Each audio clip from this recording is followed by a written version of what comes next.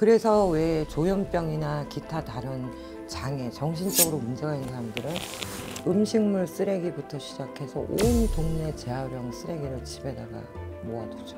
귀신들은 물건에 따라서 집을 짓고 그 집이 움직이는 곳에 기거를 하고 공기총 싸가지고서는 막 인형 받아와서 집에 쟁겨놓고 이거 정말 안 좋은 겁니다.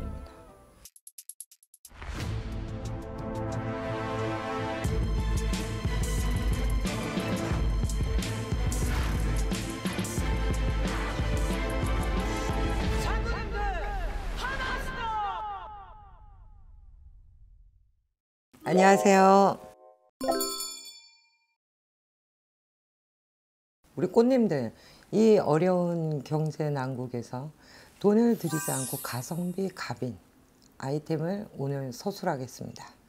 이런 물건이 집에 있으면은 나의 좋은 운기를 갉아먹는다. 첫 번째, 오래된 모피. 좀 유행이 지나고 오래되고 낡고 이게 또 모피는 오래되면 무거워지고 딱딱해지잖아.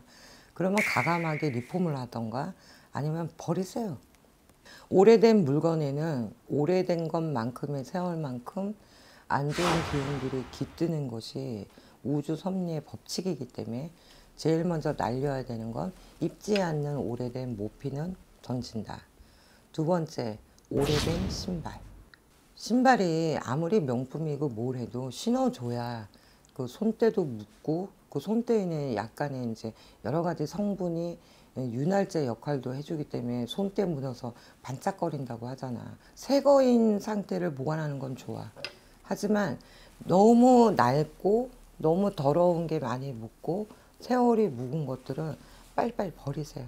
그리고 또 다른 것 중에 하나가 안 쓰는 그릇.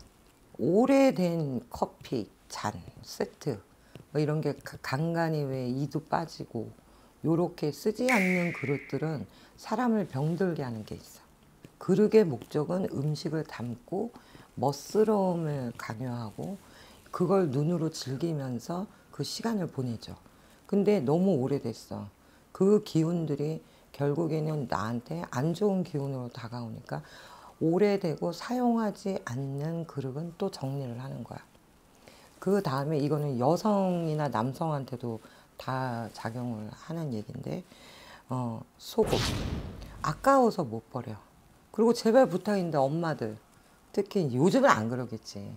우리 60 이상 된 노인 마마들, 남편이 입다가 낡은 그냥 하얀색 메리아스 여름에 반팔처럼 집에서 입고 남편이 입었던 옷 그냥 엄마들이 입고 그 모든 것들이 안 좋은 것을 다시 되물려서 입는 우리 어머님 노인마마들한테 건강상 안 좋아. 그러니까 그런 옷도 다 낡고 빵꾸 나고 뭔가 실밥이 터지고 이런 것들은 수선하려면 빨리 하고 제깍제깍 버려야 정상이고 그 다음은 정말 오래된 어, 우리 골동품 의 고가구, 앤틱 가구가 아닌 이상은 버리세요. 그래서 왜 조현병이나 기타 다른 장애, 정신적으로 문제가 있는 사람들은 음식물 쓰레기부터 시작해서 온 동네 재활용 쓰레기를 집에다가 모아두죠.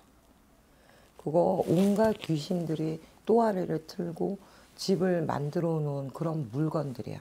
그래서 귀신들은 물건에 따라서 집을 짓고 그 집이 움직이는 곳에 기거를 하고 그래서 옛날에 어, 어디서 뭘 주워왔는데 어?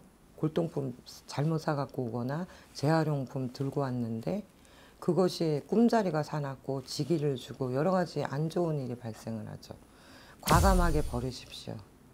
버리고 새 것을 구매하거나 없으면 없는 대로 미니멀 라이프를 추구하시면 돼요.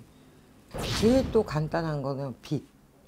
여자들 머리 이렇게 빗을 빗다 보면 그 빗살이 부러진 것들이 있을 거야. 잽싸게 버리세요. 빗이 의미하는 거는 금전의 운을 가로막는 게 큰 의미가 있기 때문에 내가 쓰던 빗을 남한테 주는 거는 내 빚을 남한테 던지는 거야. 그것도 비방이야. 그런 양아치 비방을 쓰는 다른 만신들도 있기 때문에 부러진 빗이나 남이 쓰던 빗은 물려받는 게 아니야. 그 다음에 머리, 헤어, 핀, 고무줄 낡았어. 근데 샤넬이야. 버리세요. 그냥 다이소 가도 천 원이면 사. 그냥 새 거 사. 그냥 새 거 하고 다니고 홀라니까 그런 거에 연연하면 안 돼. 그걸 버려주셔야 되고. 그 다음에 그 구질구질한 모양으로다가 인형, 뭐 애착 인형, 뭐 어릴 때 인형 한두 개는 괜찮습니다. 근데 나머지 막 어디 어, 총 쏘고 저 그 총 되게 저 사격도 짱이거든. 공기총 쏴가지고서는 막 인형 받아와서 집에 쟁겨놓고 이거 정말 안 좋은 겁니다. 인간의 모습이나 살아있지 않은 생명체가 살아있는 형상을 하는 것들은 큰 동상 이외에는 의미들이 그렇게 썩 좋지 않아요. 그러니 그런 것들은 대청소하면서 한번 싹 갈아엎어주고 여기서 중요한 거 꽃님들 설빔이나 추석 때 보면 옛날 어른들이 어떻게 하셨어요? 그릇을 다 닦거나 집안을 대청소하고 그 다음은 이불 빨래를 다 합니다. 왜 그랬을까요? 지금 제가 한 얘기 때문에 옛날 우리의 선조들은 그렇게 하신 겁니다. 그러니 사랑하는 꽃님들 우리가 꼭 구슬해야 되고 치성을 해야 되고 촛불을 켜지 않더라도 이 정도 상식으로 나의 운기에 조금이라도 새로운 희망을 가질 수 있다면 기꺼이 하셔야 됩니다. 왜? 살아남아야 되니까. 저도 열심히 살아남아 보겠습니다. 사랑하는 꽃님들 시청해 주셔서 감사합니다. 사랑합니다.